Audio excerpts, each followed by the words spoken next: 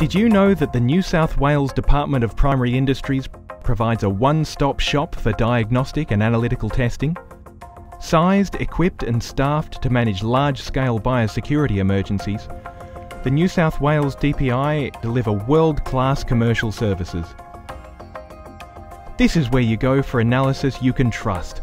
A government service whose scientific independence is guaranteed. With qualified and experienced scientists and technicians, our specialists are world leaders in their field.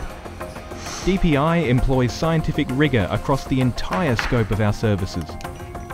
Our reputation for excellence in animal and plant health diagnostics, feed quality testing, as well as olive, canola and sunflower oil evaluation, opens doors to domestic and overseas markets and plays a vital role in keeping Australian primary industries competitive.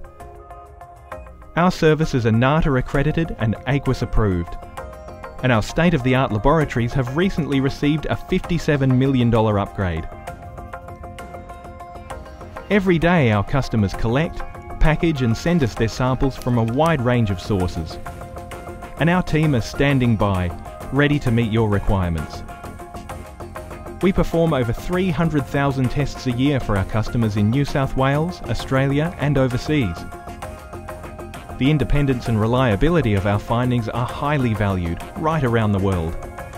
What's more, DPI's customer service team provide the assistance you need to submit samples, explain results and provide information on pricing.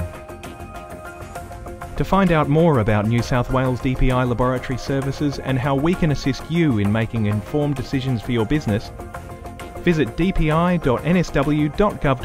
slash labs or call our customer service team on 1800 675 623.